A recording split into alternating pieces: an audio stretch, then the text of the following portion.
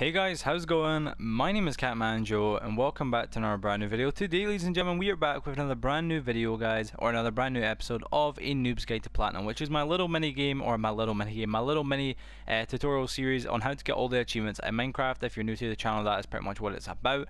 Um, today guys we're doing the achievement or we're hunting or getting the achievement whatever you prefer to call it dispense with this which is pretty you know straightforward and pretty simple but it is basically where you have to make a dispenser. Now there's been a few people that I know that apparently tried to do this before but they've had to learn from mistakes I guess but there's a few things that you know making a dispenser although it is pretty simple and pretty straightforward. Some people actually don't know about it and today I'm going to show you guys that and I was going to tell you guys how to make one. But yeah let's get right into it and let's do this guys. So yeah basically this one by the way I just I, I just want to say it real quick by the way um, inside my actual like little place here where I do most of my videos I actually decided to kind of work on the place for a little bit.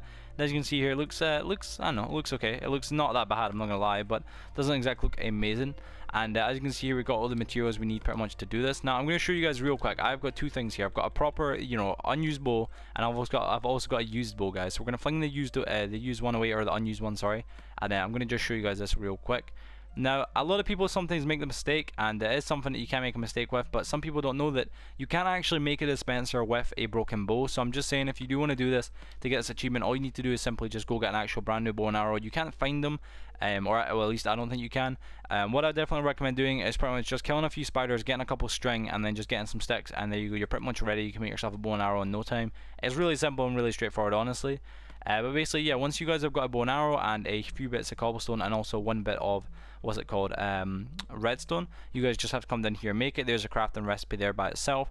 And uh, boom, there you go. It is fairly simple. You should get the achievement pretty much instantly. Um, as I've already got it for this one, so you know, obviously, you know, I won't get it. But um, as you can see here, this is it. And a dispenser is pretty useful, honestly, if you don't know.